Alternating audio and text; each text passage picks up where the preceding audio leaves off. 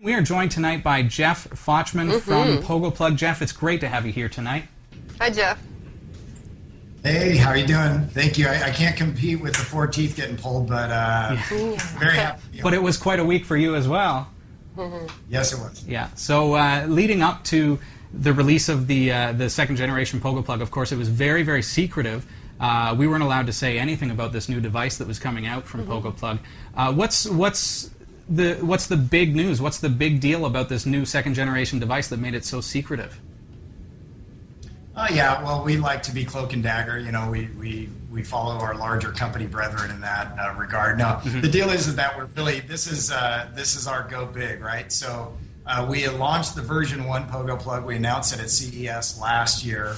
Uh, we began shipping in uh, April of this year, and it's done great. We've got thousands of users. Mm. Uh, it's been a great platform for us to get user feedback and to get the name out there. What we've done this week, though, um, is we've launched the V2 unit, or we've announced the launch of the V2 unit. It's an upgraded hardware format. So instead of being a wall plug where you plug directly into your power socket and there's a single USB port, we've come out with more of a desktop shelf sitting form factor. It now has four USB ports. And then we've added a host of about seven or eight uh, feature set functionalities that go with the software services side Beautiful. of the platform. So, Jeff, um, just kind of backing up and just saying, okay, well, here's a, a, device that you know, say somebody has never heard of. What, just kind of, what is the the basic nature of this device, and understanding that you know, one of the things that that can be a little bit of a headache is one sharing files with people, uh, whether they be family or friends, even colleagues at work. Uh, that can be a headache. I, I, received an email today, which we might be touching on. Uh, somebody saying, you know, I've got this big file, it's too big for email. How can I send it to my, my work colleague? Well, the Pogo plug might be a way to, uh, to solve that. Um, being able to uh, not just share your files, but also access your files from the laptop from anywhere in the world. How does the PogoPlug uh, achieve that? Yeah, let me just, uh, you know, at, at, the most basic, what the PogoPlug is, is it's a piece of hardware, it's a device yeah. that you can plug external hard drives into. Once you plug those external hard drives into, you connect it to your home network. So let's say you plug it directly into your router. Yep. Once you've done those two things from a hardware side, you can then access and share the content on any external storage device that you've plugged into Pogo Plug from anywhere, as long as you have an internet connection. So, to your point, whether it's you do, using the Pogo Plug for remote access when you're outside of the house, or other computers within your house, or if you want to share either large files or share multimedia files in a delightful way with slideshows and things like that, it just makes all of those things very easy to do. To your point, it's a new category. So with that comes some description and some uh, over the top just messaging that, that we need to do. Right. There's really nothing like it, is there? Uh, that what you're saying there kind of brings me to two questions. One is, and I'll just say what I'm thinking is, how difficult is it to set up a PogoPlug for a novice user?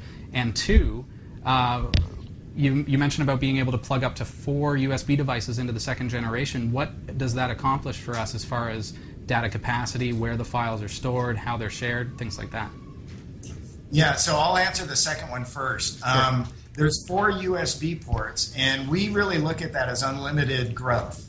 Uh, if you wanted to, you could even plug in a USB hub and even add more ports. So the idea is as your digital life grows and as you continue to buy external hard drives or flash sticks and all of this stuff, you can just continually populate them onto your PogoPlug. Okay. Unlike cloud only based storage, where you're either paying for that storage in the cloud and uploading, you're literally just connecting more hard drives that you've you've gathered over the years or that you buy as you go. So you can plug as many in as you want. Um, as far as the first question, the setup side, that's something that we're really excited about.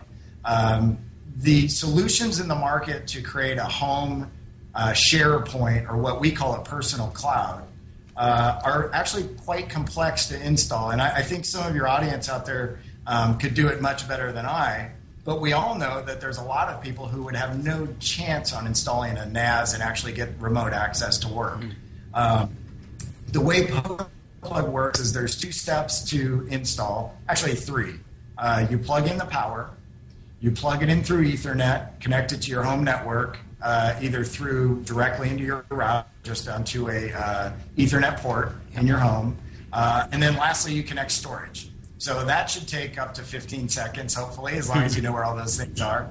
Uh, after you do that, you go back to any computer that's on your network, and it's the only time you need to log in on the network is the very first install. You go back to your computer, you go to mypogoplug.com, and once you've done that, we actually uh, find the Pogo plug and run the install for you. So there's no software download. Because you're on the network, we can find it through your network and we'll actually ping the Pogo plug on your network. At that point, you're live and you're ready to go. So we call it a 60 second install.